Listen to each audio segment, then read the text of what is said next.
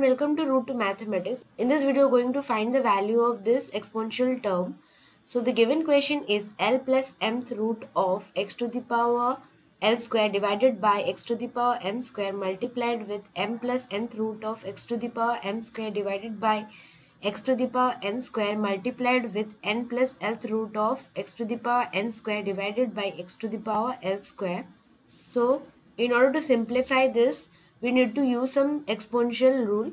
So let's just start the solution. So we have L plus mth root under x to the power L square divided by x to the power m square multiplied with m plus nth root of x to the power m square divided by x to the power n square multiplied with n plus lth root of x to the power n square divided by x to the power l square. In the first step, let's just apply an exponential rule that is eighth root of x can be written as x to the power 1 by 8. So similarly, we can write, so by applying this exponential rule, we can write x l square divided by x m square whole to the power 1 by l plus m multiplied with xm square divided by xn square whole to the power 1 by m plus n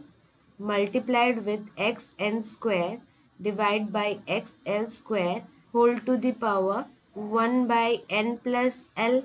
So here you can see that all the bases are same that is x.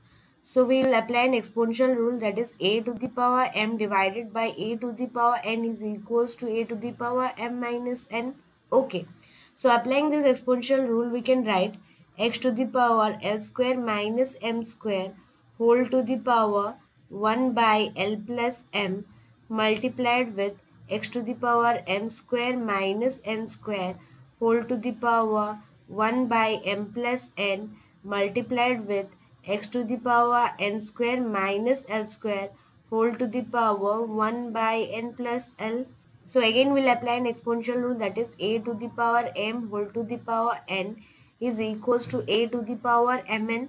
So by applying this exponential rule we have x to the power l square minus m square divided by l plus m multiplied with x to the power m square minus n square divided by m plus n multiplied with x to the power n square minus l square divided by n plus l.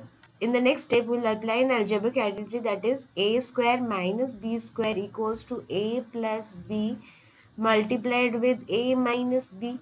So by applying this algebraic identity, we can write x to the power l plus m multiplied with l minus m divided by l plus m multiplied with similarly x to the power m plus n multiplied with m minus n divided by m plus n multiplied with x to the power n plus l multiplied with n minus l divided by n plus l. Okay.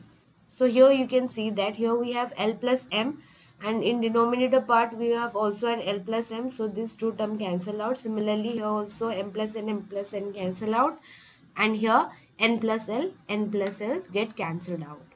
So we have x to the power l minus m multiplied with x to the power m minus n multiplied with x to the power n minus l. So similarly all the bases are same. We are going to apply the exponential product rule that is a to the power m multiplied with a to the power n is equals to a to the power m plus n.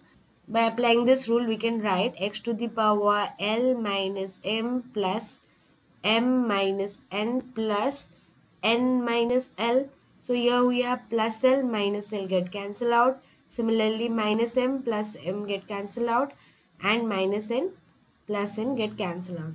So we have x to the power 0. This equals to 1 is our answer. I hope you have understood the solution. Thanks for watching. Please subscribe to my channel and hit the like button for more such interesting videos. Thank you.